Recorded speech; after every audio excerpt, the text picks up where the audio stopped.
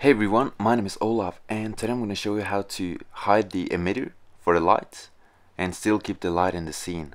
So let's get started. Okay, so you want to start off by switching to Cycles Render for better shading. So switch from Blend Render to Cycles Render.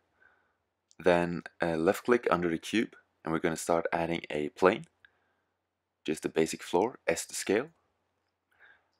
And then we're going to delete the uh, default light, so click X to delete. Then add a plane. This is going to be our first light. R to rotate, G to grab, and S to scale. And we're going to go to the top view. So click um, numpad 7 to go to the top view. And then you want to click uh, Shift D to duplicate. Then click R set to rotate it on the Z axis, S to scale. And click Shift D again to add another one. This is going to be the backlight and click S to scale. Okay, so now I'm just going to add the um, emission to the uh, planes. It's going to be the light, obviously. So go into the settings, go into materials and add new. Just go into rendered mode to see how it looks. Okay, so select emission and you should increase the strength so that it actually has some power. Okay, so 7. You can make it even higher or even lower. I'm probably going to change the values a few times in this tutorial, so you don't have to copy exactly what I'm doing. You can also make the lighting a little bit more yellow, which is going to make the final render look a little bit better and more natural. And then you just select the other planes and add the same material on the left side of the new material button.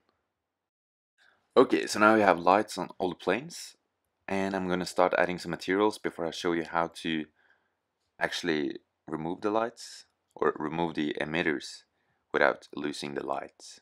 That's the basic points. Okay, so select the cube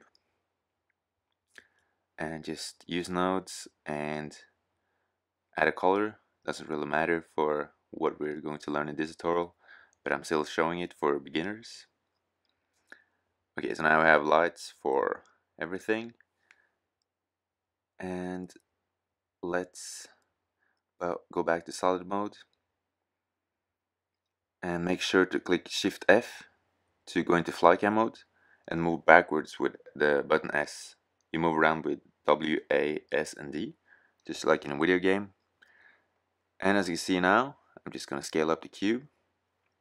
You'll see that we have the lights still in the render if we go down to rendered mode.